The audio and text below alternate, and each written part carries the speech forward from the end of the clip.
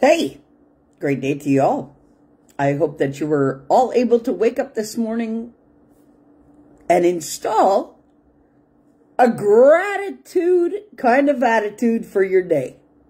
What do I mean? Well, hey, I hope that you told yourself you were grateful to be alive. Again, another day. And I hope that you told yourself how amazing you are and how capable you are and how everything is possible for yourself should you make it that way. And you know something? You are exactly what you believe yourself to be. Okay? So if you tell yourself you're broke, well, you are.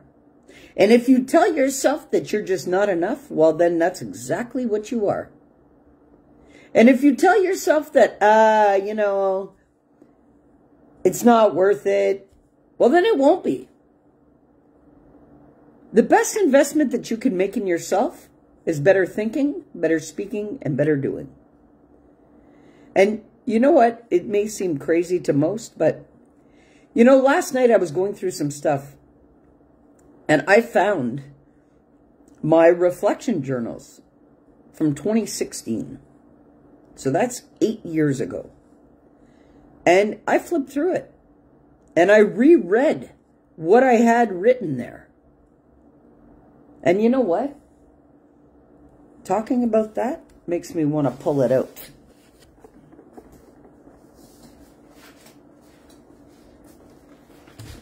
All right. So, when I tell you that the best investment that you can make in yourself, that's facts. Had I not invested in my own well-being, I would not be well today. Literally. And this is inner work. I tell you guys about inner work that has to be done to be able to master your own being.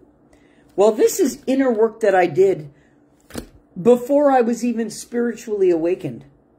Because this is the stuff that you got to get past in order to be fully aligned and in your power. Yeah. So I'll show you my first my first page of my inner work reflection journal that I came across yesterday, last night. I did this January 16th, 2016. Okay? So this was just motivation. All right? So you can see the date at the bottom. But that's not it. You know what? I was struggling with addiction back then. Well, I have all of the overcoming addiction psalms here. Okay? Because I had to master what addiction was. I had to master why I was living in addiction to pull myself out of it. Okay? Wow. Self-reflection. January 16th, 2016. All right? Let me read it to you to really solidify for you guys what it is to do inner work and self-reflecting and correcting the things that we have been installed with that are not serving you any good. Okay? So, self-reflection from January 16th, 2016, it reads like this. I'm truly blessed in my life. I have great insight, which I thank the universe every day. Simple reminders to myself Simplify everything. Remember the law of least effort. Do not allow any external factors to sway my inner peace or happiness. Only I can give permission for that to happen. Be truly content within myself, no matter what the circumstance. Remember nature's laws, love, balance, harmony, simplicity. My energy must flow like water over rocks, smooth without resistance or without restriction. Keep my mind fresh with new positive thoughts and ideas. No stagnant ponds with gloomy thoughts. Feed my brain with knowledge. Knowledge to the mind is like food to the stomach. It's essential. Figure out what makes me tick again. That's a huge one. I alone must control my thoughts. Under no circumstances must I sway. I am strong. I am loving. I am okay. I have been, I have forgiven myself wholeheartedly. I can do anything better than ever, every day, always. Gratitude. And then I close this self-reflection page, these two pages, with, Dear God, please continue to guide me to make the right choices. Bless me with health, insight, endurance, determination, and love. This is stuff that I did eight years ago. Self-reflection is key. That has nothing to do with anybody else. You have to go inside your own being and see what is hindering you from getting the most out of life. What was hindering me? Negative thinking about myself and the world. Not having a clear picture about what I wanted and what I wanted to feel in my own life every day. I was stuck in an automatic programming, which I was programmed with as a kid. So, some of those limiting beliefs. Money doesn't grow on trees. Money's the root of all evil. You got to work hard for money. Okay? So that's why I stayed broke all my life. And I had to fight to build anything. It's because of those limiting beliefs. Okay? Why did I end up getting sick? Why did I end up having to live it? Because of my limiting beliefs about not being able to be happy because of external circumstances, about believing that I needed other people in my life to make me whole, believing that I was not enough, believing that I was fucked up because everybody always told me that all my life. No, I'm not the one that's fucked up. So these are the corrections that need to be made within your own being in order to thrive and get the most out of your experience. Okay? Uh, yes, I was one that believed that I was defined by my life and what I had to live. And it's not the case. It's a false misconception of who you really think you are. And that's why it's important that people do the inner work. Nobody can hand that to you. And if you don't do that for yourself, you will never get over what is hindering you. Ever. Look, it's as simple as this. I created cancer within my own body from my thoughts, from my anger, from my emotions that I stored in my body about my life. Well, you can't just cure cancer like I did on your own with no intervention unless you fix what has caused it. Okay? So I first-handedly know why my body created a cancerous state. Because what I was storing in my body from my life was cancerous to me. The people around me in my life were cancerous to me. They brought me nothing good. All I fed off of was negativity around me 24 7. Okay? Well, in order to fix the cancer that I had created in my body, I needed to get right with myself, which I did. This is all of the self-reflection work that I had to do to rid myself of cancer. No doctor did that for me. And I did no chemo. I did no invasive surgeries. What they did was they took biopsies, gave me the results, and I took the reins from there. Okay? People, some people think it's humanly impossible, but no, I've made it possible for myself. How did I do it? By getting right with my thoughts, what I was storing in my body, the things that I was saying and the things that I was doing. Literally. You can make anything possible for yourself. The best investment that you can make for yourself is not investing in that paycheck that's going to pay your bills. No, it's investing in you being the strongest, most capable being there is on the planet that makes everything else possible for you. Literally. You cannot be investing all of your time and your energy and your thoughts and speech and actions into things that are driving you into the ground and think that you're going to be okay. Because that's not the case.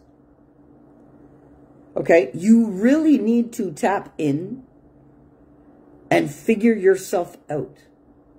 That is the biggest key to unlocking an abundant mindset, an abundant, healthy state, and to be abundant in anything that you put your energy into. Like I say all the time, you got to do the inner work. You have to. Why do I say this? Because I just read you proof of inner work that I did eight years ago to get right with myself. You can't just wake up one day and no, you can consciously make choices for yourself. That's fine. But what's running automatically? That's what you need to figure out. And if you don't take the time to sit with yourself and take a look at what you believe to be real for yourself, you cannot correct it. We're living in a state of overload sensory overload. You get distracted by everything, your schedules, your life, your responsibilities, things you're accountable for, things you must do. That's fine. But in all of that, where do you fall on the list of priorities? Because if you're not okay, nothing you're doing is okay. If you're not showing up as a hundred percent, you will not get back a hundred percent out of anything you're doing. That's just the way it is. So you can be insistent to resisting taking a good look at yourself. But those are the exact results that you're creating in your life. The biggest shift that I ever had in my life was to know that I was doing it to my own being. And all of the learning that I invested in for self-mastery was the biggest investment that I could have ever made in my life. Not only for me, but for everybody attached to me. I couldn't keep operating the way that I had been operating. All it was doing was pushing me to death time and time and time again. It kept creating in my body states of really not being okay. And I've done a lot of great things in my life and I've changed thousands of people's lives. Just being the president of the second largest cooperative housing unit in North America alone was my biggest amplification of making and producing mass good karma at once. And I did that intentionally. Knowing that I had a lot to clean up. Okay? And I did that for years. The decisions that I chose and I took affected three to 5,000 people on a daily basis. Okay? Well, if you can't be accountable for your own thoughts and your own mindset and your own speaking and doing. You cannot take the accountability on for three to 5,000 residents. You see? So, you got to invest in yourself. What do I mean by that? Invest in your well-being. Okay? We all get up and we function from an automatic system. Should you allow it to do that? So what do I mean? You get up in the morning and you do the same things over and over again and not even notice it. So you get up, you go to the bathroom, you make your coffee, you... I want you to take a look at all of the things that you do automatically in your day without even thinking about it. When you get into your car, you think about your destination, right? Well, you don't think about the focus is not on whether you're controlling your car or not. It, you run it automatically once it's set like that.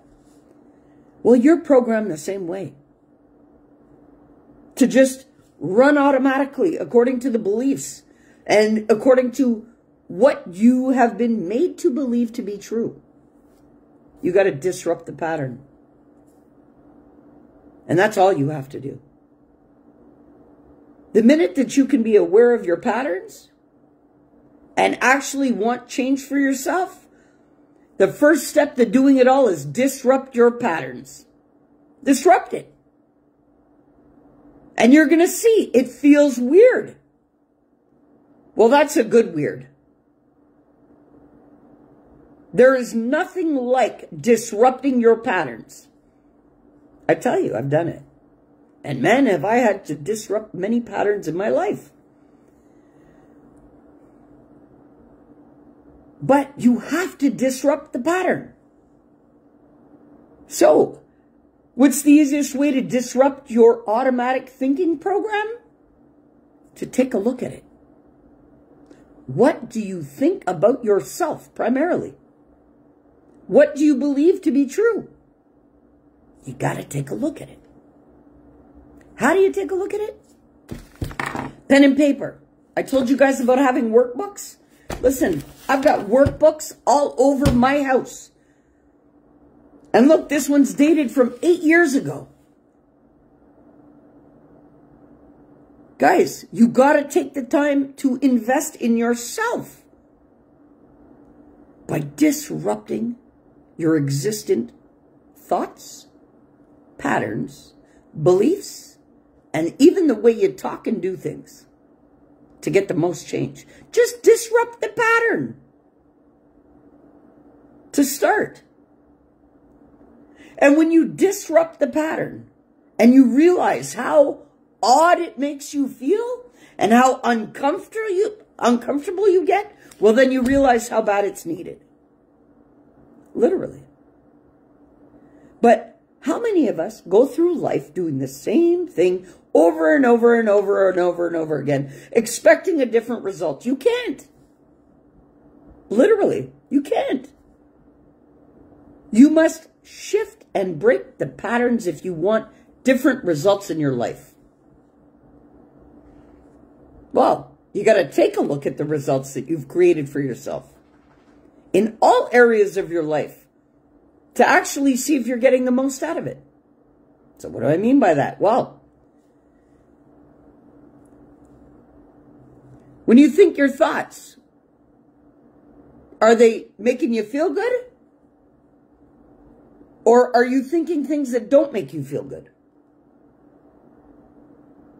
When you speak with people, are these interactions uplifting you? Or are you drained and feeling destroyed and disempowered when you walk away?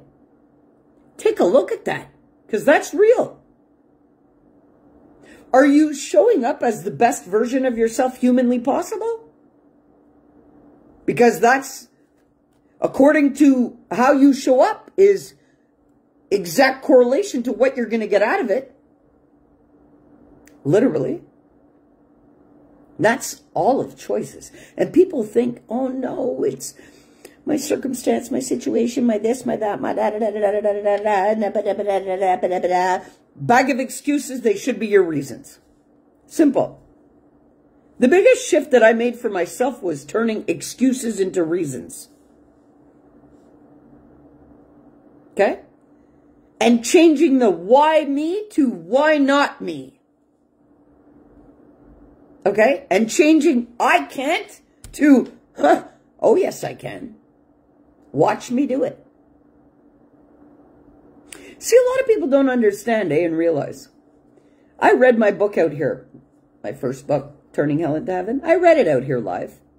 Now, during that reading, I made it very clear to everybody that I had gotten a message that I was going to die three days before that incident in ICU. I had been told and instructed that should I decide to end, let it all happen, that I had three days to prepare myself and my family and to clear out my house and to do whatever I had to do because the countdown was on. Well, the day of my supposed death, I put a white sheet on my couch so that, hey, nobody would have to shoot my dogs to get to my dead body. Okay? Well, after the neighbor from upstairs barged into my house and asked me, Toby, what are you doing? And I just told him, hey, I'm just waiting to die.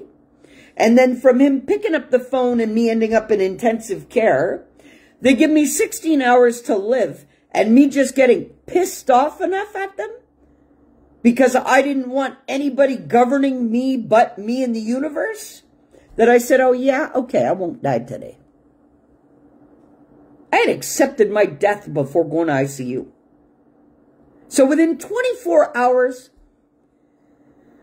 yeah, I got a little pissed off at what the microbiologist said to me. He pissed me off. Why? Because he told me, no, I'm not letting you go home to die. The only way you're leaving here is in a body bag. So accept it. And I said, oh yeah? Watch me go. So I went from on the verge of allowing myself to die, feeling the blood filling in my lungs, letting my body go into total septic shock because that's where I was at. Organ failure, kidneys had shut down, couldn't create urine.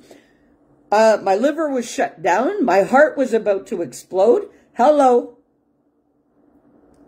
All it took was for me to get pissed off. For me to turn it around. Well, I want you all to get a little pissed off about what you've accepted for yourself up until now. If that's what it takes, do it. Because that's what does it for me. Literally. You know what does it for me? When somebody tells me what's possible for me. That is my hugest driving force on the planet, is when somebody tells me I can't do something. Because I know I can do everything and anything I put my heart to. Mind over matter? Yes. But spirit before all. Okay? Because what drives that mind? Your spirit. What drives all of your capacities? Your spirit, your will, and your thriving force but are you working in alignment with it? Is it helping you? Or is this power destroying you? By what? Your own thoughts you refuse to correct? Your own ways of being that you refuse to correct? Hey, what you think, say, and do creates your reality no matter what. So if you are not taking a good look and investing the time and effort into actually taking a good look at how you operate, you will continuously drive yourself into the ground. Literally. I know. I did it first-handedly. So nobody can sit here and tell me they're not driving themselves into the ground. If they are not thinking, saying, and doing properly for themselves. How does this happen? Lack of self-love, lack of self-accountability,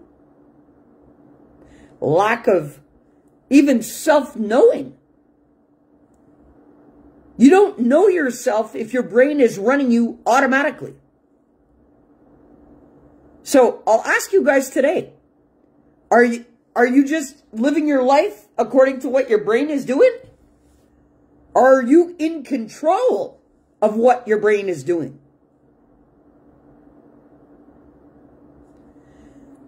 Very different magnitude. Guys, I want you guys all to tap into your power. How do you do that? You got to get to know yourself. Literally. And a lot of people walk around going, oh, I know myself. And I just look at them going, bullshit. You don't know yourself because if you did, you wouldn't operate the way you do. Literally. Guys, you got to invest in yourself. Invest in sitting down with yourself. Literally. You know what? Here's another. You know, did you see that date? January 26, 2016. I'll read you another page of my inner work to give you another idea. Guys, literally, you got to invest in yourself. Yes, it's taken me years to self-master. That's why I never came out before it, talking about it. Okay? This is why I'm only coming out now, after five years of being spiritually awakened. But I've been doing the inner work for over 15 years to master myself. There's the difference. I have been investing in me Uh, for more than 15 years to master myself. Now that I have, now I'm ready to help others do it. This is the difference. I'm going to read you guys a page of my inner work from January 26, 2016. Things matter more than ever. Shit that I would normally keep a blind eye to makes me short-tempered. No, I don't like chaos, conflict, confusion, or crap. I am assertive, clear, concise when explaining myself. Maybe it comes off as aggressivity, manic, but can't there be a level of common understanding amongst humans? The view of uniqueness, the view of uniqueness, experience guides the eye to see. This should be motivated with an open mind and a non-judgmental attitude. This is my weak point that needs to be strengthened. I figure that others' minds should be like mine. I have been blessed with a brilliant mind, intact logic, and an extensive gratitude for the insight and guidance in which I am blessed with daily. I feel that others should be just as capable, if not more capable, of controlling their minds, thoughts, ideas, and actions. The realization of being driven by oneself is a disturbing concept for some to grasp. One's ideas lead to be one's thoughts, which leads to one's words, which leads to actions, which leads to habits, which lead to a way of life. People constantly entertain certain thoughts and say certain things that destroy any chance of anything good ever happening. Keeping a positive mindset above all is key. Being a kind, caring, selfless, loving individual opens doors to abundance in many forms. Well-wishing gives more to an individual than actually giving an individual something material. My problem seems to be I'm too manic. I jump into things too wholeheartedly.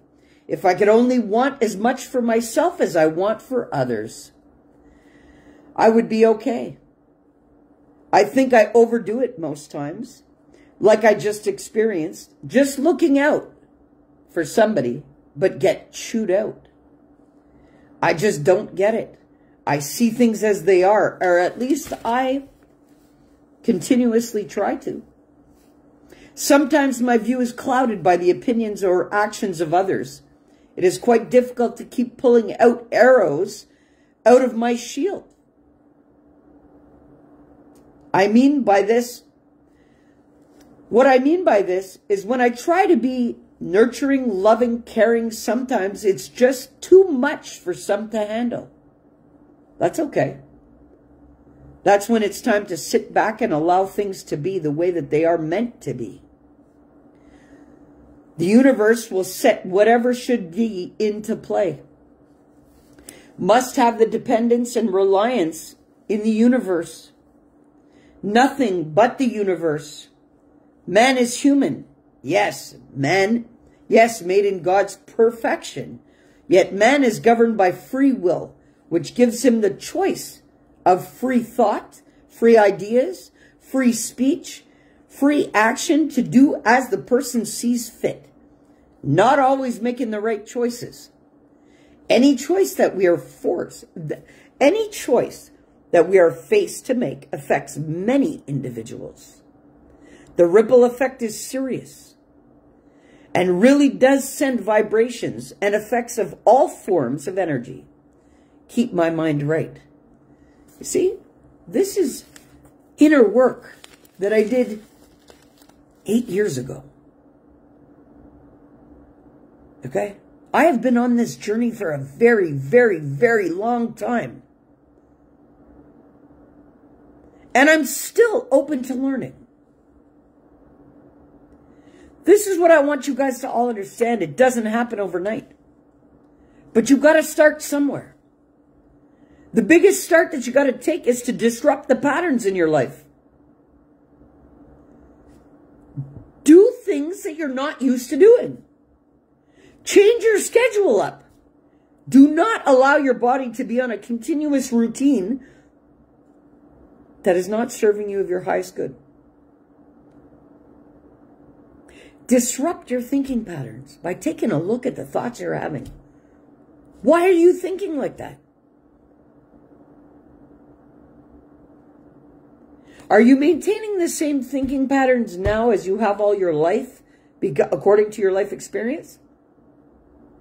Because all it was was a mere experience. And it no longer exists except for in your own being. So you have to take a look at what you're thinking and storing about your life. And who do you see yourself to be?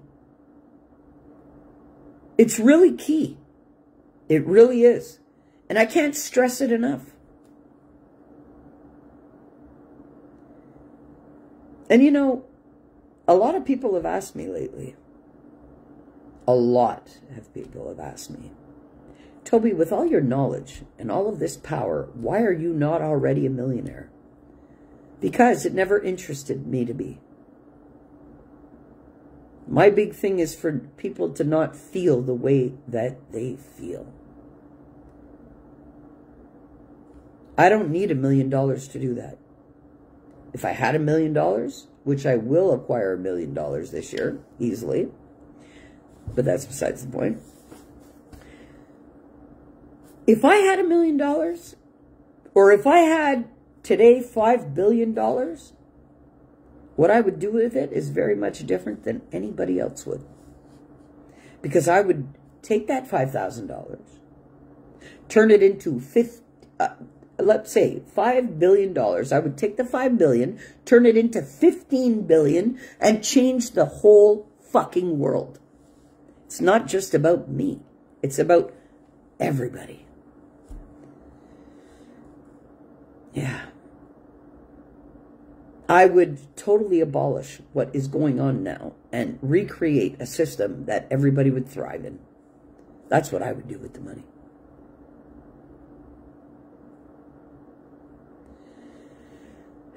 Yeah, literally. I would open healing centers and schools and all kinds of things for people that we would not construct a system that we're living in like this. There's no way. Nobody needs to be harnessed to survival, ever. It's a simple, mere choice.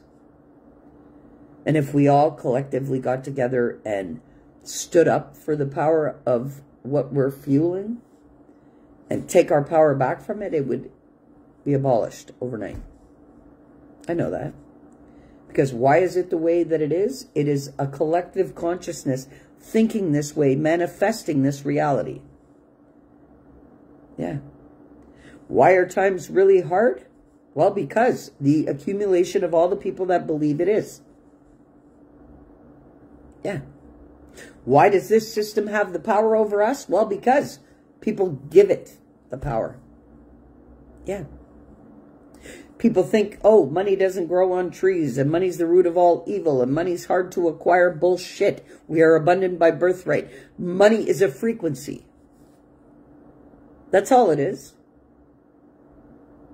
How do I know? Because being abundant in myself, the universe always supplies me with everything I need. Everything.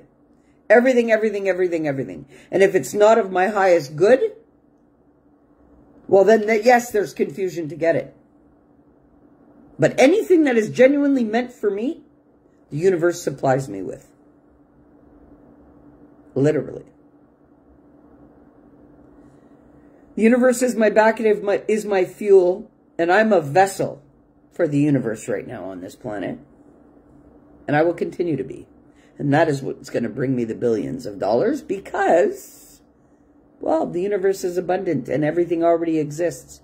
So Toby as the billionaire already exists. Toby as the billionaire changing the world already exists. Yeah.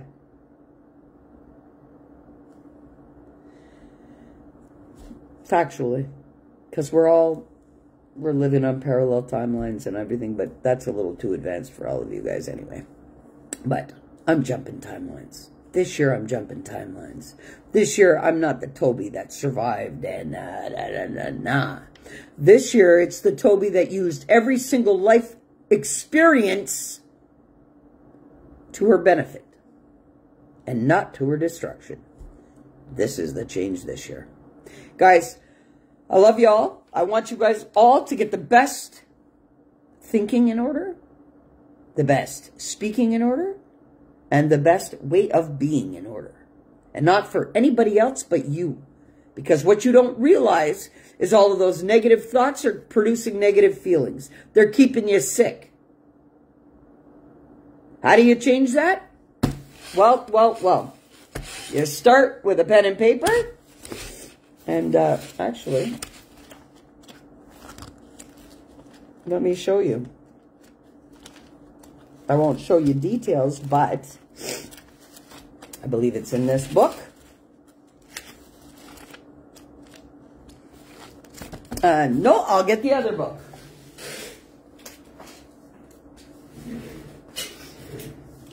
See, I don't play around.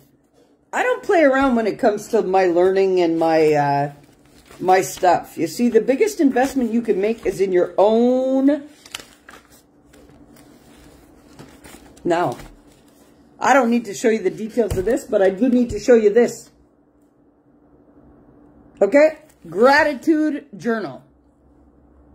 When I could not find a reason to be grateful, even after beating death, why? Because I started to question, why the fuck did I beat death? Because this life is shit. Who wants to live this? Okay? Factually. I couldn't get over how many times I had to beat death just to suffer all over again. Wow. I had to find my reasons to be grateful and recondition my brain. Rewire the brain. I don't just sit here and tell you guys what you need to do that I haven't done for myself. This is why I can't accept excuses from people. Oh, they're too busy doing sweet fuck all than to invest in their own well-being.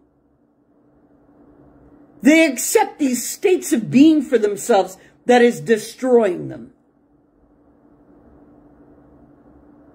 I don't want that for anybody. And this is why I come out and this is why I do what I do. This is why I've published eight books. It's for change in this world. And for people to be okay. Why wouldn't I want people to be okay? Especially when I feel everybody's energy.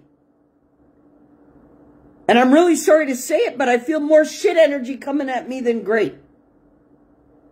So why would I not want change for people? and want people to be the best that they can be for themselves, well, it benefits all of us. I had to pick my side of the fence. I could walk around hating myself in the world, and where would it get me? Right next to death again. Why would anybody accept that from themselves when they know better? And they can do better. And they can make anything happen for themselves. Well, I'm proof of the pudding. Okay? And sometimes we got to get a little pissed off for the fuel, for the fire. Well, if there's anybody you got to get pissed off at, get pissed off with yourself. And disrupt those fucking patterns. Because you can do it. I had to. And it took me years to reinstall and rewire my brain. Well, I've done it. It doesn't matter about circumstance, situation, or scenario. I've never been given anything in my life. So I didn't have money to invest in programs. I still don't have money to invest in programs. Did it stop me from accomplishing it? No.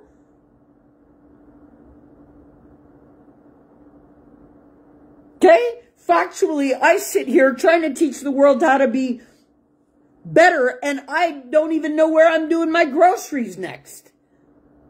Because of the lack of finances right now after what I just allowed for myself, trying to love somebody. Yeah, right. I'm still picking up the fucking pieces, but am I sitting out here crying about it? Or am I teaching all of you guys how to get right with yourselves? You see the difference? None of you guys understand the depths of my situation, but yet I'm out here preaching to y'all. All right. So if I can do it, all of you can do it. And I don't want any fucking excuses because you know what? I have a million excuses to sit here and be a shitty person. Trust that. If I wanted to use excuses. But those same million excuses are the same million reasons why I refuse to do it. And I will flood greatness into this whole experience for every single person for the rest of my life. Okay? Guys, I want you guys to take yourselves seriously. Try this. Take a piece of paper and a pen. Okay? I'll give you a minute to do that. And you know what I want you to do? Write down a list of all the things you love. Literally.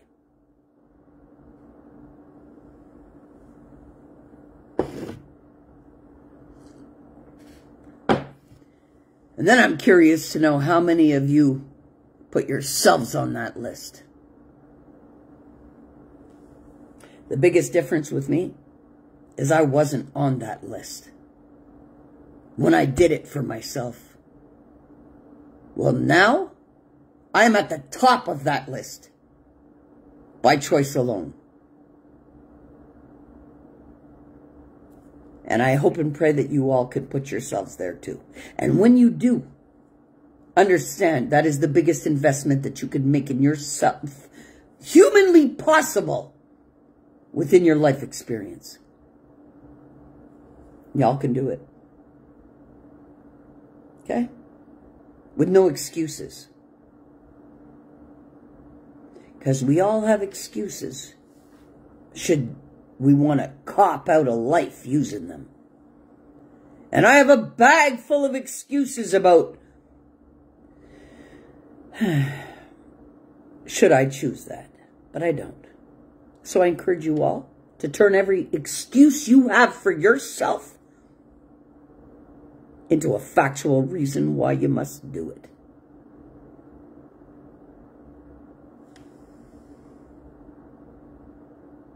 Literally. I love y'all. Set that high vibe. This is why I come out here and do it. And I learn every day, eh? So let me drop it like this too. Yes, I'm self-mastered. Yes, I've rewritten limiting beliefs. Yes, nothing can stop me now but my own being. So, I'd like you guys to get into that situation for yourselves too. We all put ourselves in daily situations, circumstances, and scenarios. Take a look at it. And even after self-mastery, and even after eight books that I've written, and even after everything I have done, I am still learning on a daily basis. By choice alone. I hope and pray you guys do too. I love you all. Get the most out of your day. Set that high vibe and put yourself on the top of your to-do list. Literally. I love you all. Peace.